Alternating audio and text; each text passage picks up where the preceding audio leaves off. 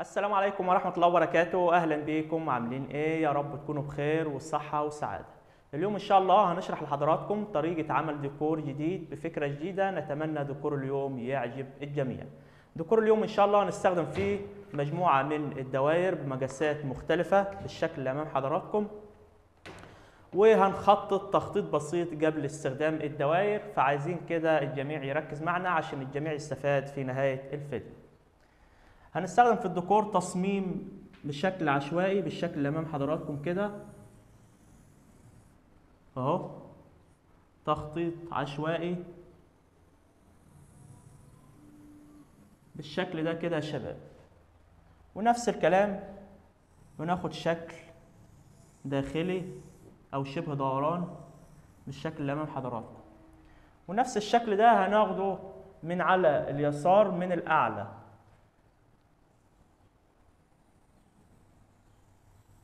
بطريقة سهلة وبسيطة ننهي معاكم الجدار ونرجع نكمل مع بعضنا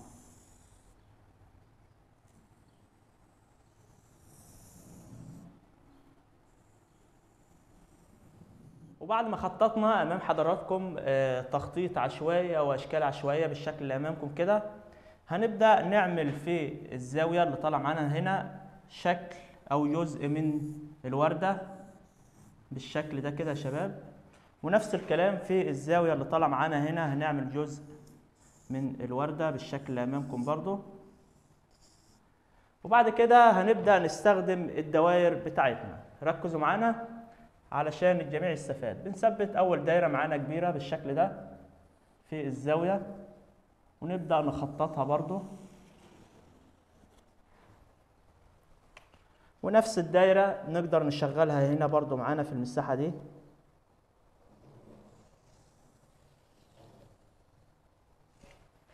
وبعد كده نبدأ نوزع مقاسات الدوائر التانية بتاعتنا.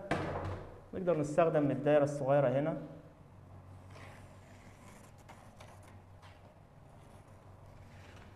نفس الكلام في المساحة اللي هنا.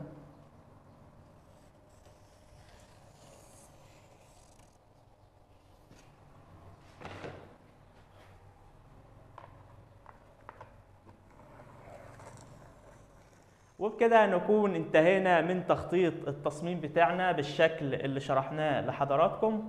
وهنا هنبدأ نشتغل في الألوان وأنا هنا هبدأ أشتغل في اللون الأحمر واللون الأحمر هدهن بيه الجزء اللي هو عبارة عن ورد أو زهور وأنا هنا بستخدم خامة الدوكو والدوكو هنا هو طلاء السيارات. تمام يا شباب؟ وهبدأ أشتغل الورد بالشكل اللي أمام حضراتكم كده نملى مساحة الورد بالكامل.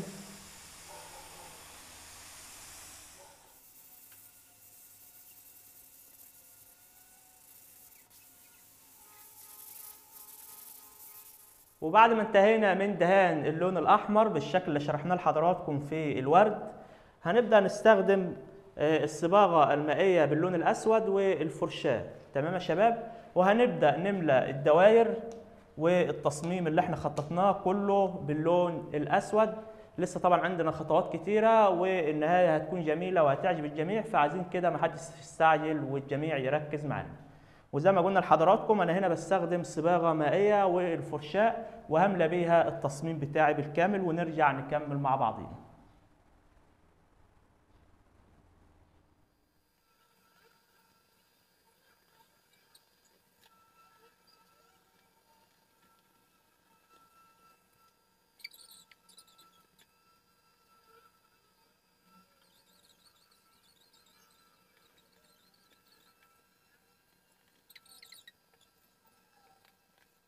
وبعد ما انتهينا من دهان الرسمة بالكامل باللون الأسود بالشكل اللي أمام حضراتكم بالفرشاة والصباغة المائية هنبدأ نشتغل باللون الأسود والمسدس. وهنا طبعا زي ما قلنا لحضراتكم أنا بستخدم خامة الدوكو والدوكو هو طلاء السيارات. هنبدأ طبعا بالمسدس نعمل الظل للوردة بتاعتنا والتأثيرات بالشكل اللي أمام حضراتكم كده.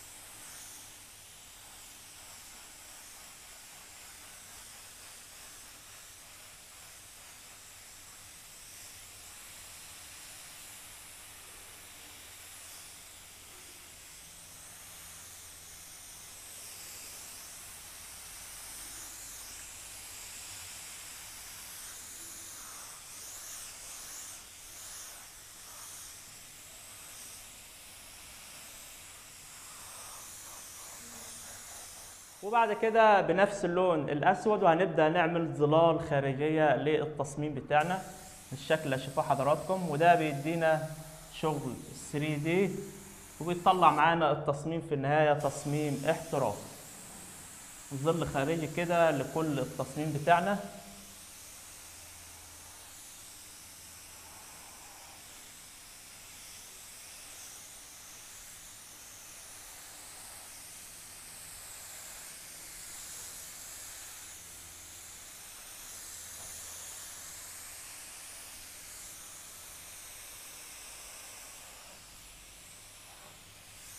وبعد ما انتهينا من عمل الظلال والتأثيرات بالشكل اللي شرحناه لحضراتكم هنبدأ نشتغل باللون الأبيض. وعاوزين كده الكل يركز معانا في المرحلة دي لأن هي اللي هتنقل التصميم بتاعنا من تصميم عادي لتصميم احترافي. باللون الأبيض كده يا شباب وبالمسدس وهنبدأ نعمل شغل نبرتيه أو ستنسل أو أي اسم أنتوا بتسموه. أهم شيء إن أنت تشوف أنا هشتغل إزاي. شغل دورانات عشوائية بالشكل اللي هتشوفوه حضراتكم كده. أهو يا شباب. داخل الأسود اللي إحنا عملناه وهنبدأ نشتغل بالشكل ده كده.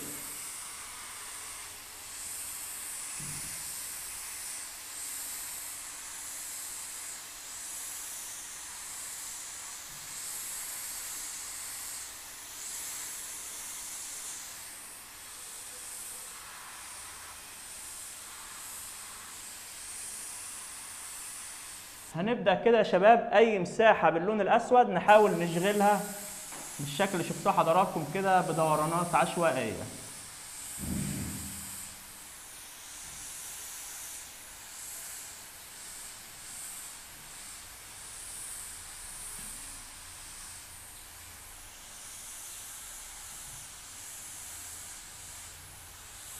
وزي ما شايفين حضراتكم من لمسة بسيطة نكون حولنا الرسمة بتاعتنا لشغل احترافي. نفس الكلام ده يا شباب هننفذه في الدوائر اللي بالأسود بالكامل ونرجع نعمل باقي التأثيرات بتاع الجدار بتاعنا.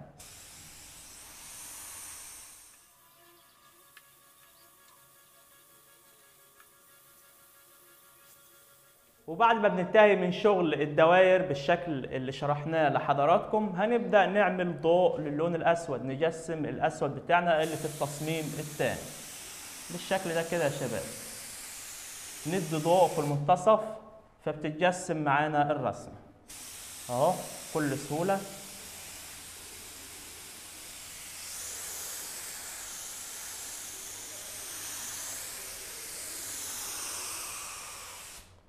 وبعد كده بنظهر الورد بتاعنا ونعمل شغل براعم طالع من قلب الوردة بيكون بالشكل اللي أمام حضراتكم كده.